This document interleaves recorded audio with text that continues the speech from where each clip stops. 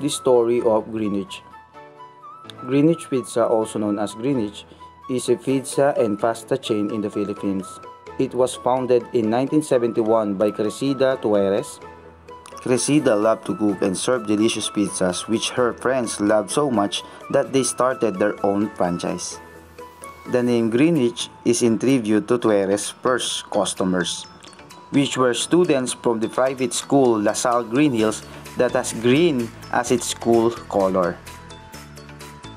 In 1994, Jollibee Foods Corporation acquired 80% of Greenwich shares. Then in 2006, Jollibee bought out the remaining shares of its partners in Greenwich for 384 million pesos, giving rise to a new company known as the Greenwich Pizza Corporation.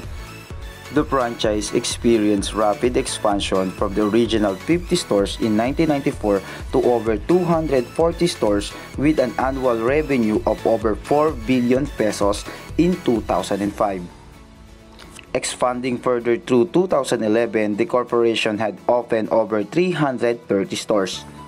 Greenwich Pizza later became a brand managed by Fresh and Famous Foods, a subsidiary of Jollibee Foods Corporation. The end. Thank you for watching.